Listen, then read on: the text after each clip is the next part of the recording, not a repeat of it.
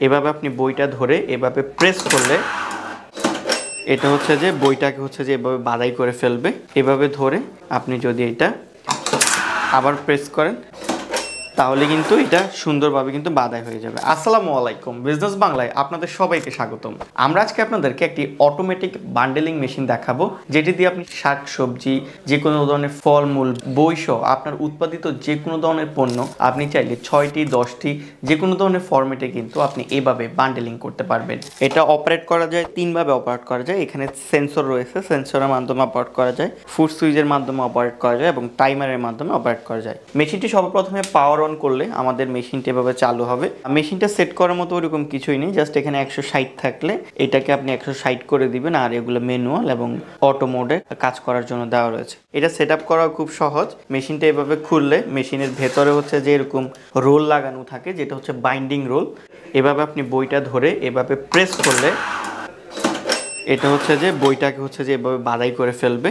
এভাবে ধরে আপনি যদি এটা আবার প্রেস করেন তাহলে কিন্তু এটা সুন্দরভাবে কিন্তু বাদাই হয়ে যাবে। আর এটার ওয়ার্কিং স্পেস হচ্ছে সর্বোচ্চ এতটুকু।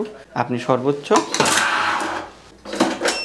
এই যে আমরা বইটাকে হচ্ছে যে সুন্দরভাবে বাদাই করে ফেললাম। আমাদের দেশে দেখা যায় সবজিটা হচ্ছে যে আমরা হাতের সাহায্যে দড়ি দিয়ে বাঁধি। তো এই জিনিসটাকে চাইলে আপনি আরও স্মার্টভাবে করতে পারবেন। যেমন এই মেশিনটাতে ধরে আপনি এরকম পেঁয়াজের আটিগুলোকে আপনি হচ্ছে যে এরকম সুন্দর করে হচ্ছে যে আপনি মেশিনের মাধ্যমে বাঁধতে পারবেন।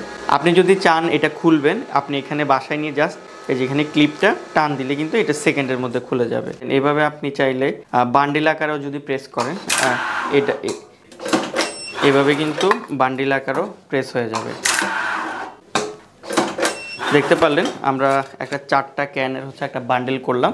আমরা মনে করছি যারা বিভিন্ন ধরনের সুপার শপ বুক বাইন্ডিং করেন, এছাড়া যদি আপনার টাকা পয়সা যদি থাকে, সেটা যদি আপনি চাচ্ছেন যে বান্ডেল আকারে করবেন এই ধরনের মেশিন দিয়ে, সেটাও কিন্তু আপনার জন্য বেশ কার্যকরী হবে। মেশিনটি সংগ্রহ করার জন্য আমাদের স্ক্রিনে যে নাম্বারটি দেখতে পাচ্ছেন, এই নাম্বারে যোগাযোগ করতে পারেন। এছাড়া সরাসরি অফিস ভিজিট করে এই মেশিন দেখে সরাসরি কিন্তু আপনি পারচেস করতে পারেন।